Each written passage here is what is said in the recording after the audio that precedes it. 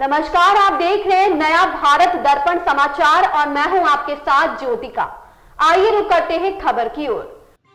बहुत पहले जब सुल्तानपुर में दुर्गा पूजा उत्सव मनाने के प्रचलन का शुरुआती दौर था, शहर में कुल सात दुर्गा पूजा पंडाल लगते थे। ऐसे में सन 1973 में शहर के गांधीनगर मोहल्ले में स्वर्गीय सजन लाल कसौदन, स्वर्गीय आनंद कसौदन, स्वर्गीय शीतला प्रसाद गुप्ता, श्री भैया राम साहू, श्री राम भजन ने शहर के आठवें पूजा पंडाल अष्टभुजी माता पूजा समिति के नाम से स्थापित किया गया।